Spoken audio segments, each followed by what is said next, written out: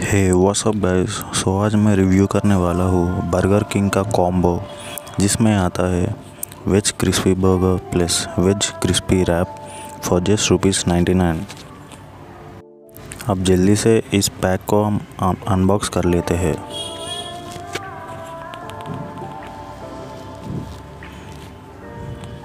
ये रहा tissue paper और ये है बिल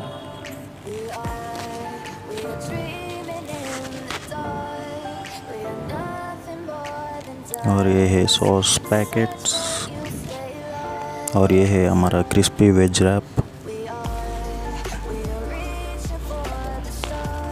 हमने दो ऑर्डर करा है, दो कॉम्बोस ऑर्डर करा है, इसीलिए दो है। और ये है हमारा छोटा सा बर्गर और ये रहा हमारा दूसरा छोटा सा क्रिस्पी वेज बर्गर और देख लेते हैं क्या क्या है इसमें। और थोड़े सॉस पैकेट है। अब यह आप देख सकते हैं, एक कॉम्बो में आता है, एक वेज बर्गर और एक क्रिस्पी वेज रैप हमने दो कॉम्बो ऑर्डर करा है। हमें इसका प्राइस पड़ा है। बिल पे लिखा है वन एटी सिक्स रुपीज़ पर ये हमें पड़ा है just one fifty six rupees for two combos on Swiggy after using the coupon code Swiggy it अब हम जल्दी से इस बर्गर को टेस्ट कर लेंगे।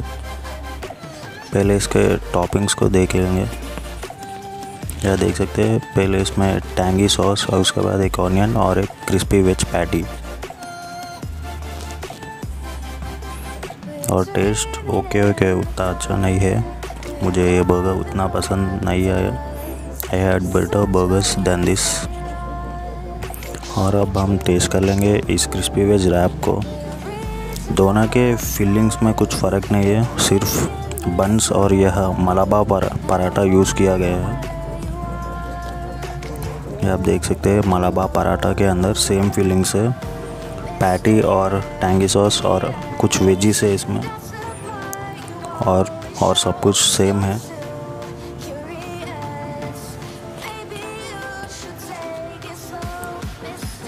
इसका भी टेस्ट वैसा ही है मुझे उतना अच्छा लग, नहीं लगा, पर दूसरों को पसंद आ सकता है because every one taste is different so मुझे ये उतना पसंद है अच्छा ही चाहिए। एक बार ट्राई कर सकते हैं। ये टैंगी सॉस मुझे उतना पसंद नहीं आया। आप ये दे सकते हैं। टैंगी सॉस उतना अच्छा नहीं है। फॉर माई टेस्ट दूसरों को पसंद आ सकता है।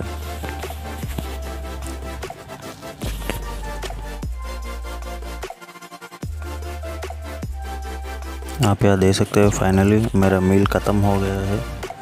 And I be honest with you one fifty six rupees के लिए ये क्वांटिटी बहुत ज़्यादा है, पर टेस्ट मुझे उतना अच्छा नहीं लगा।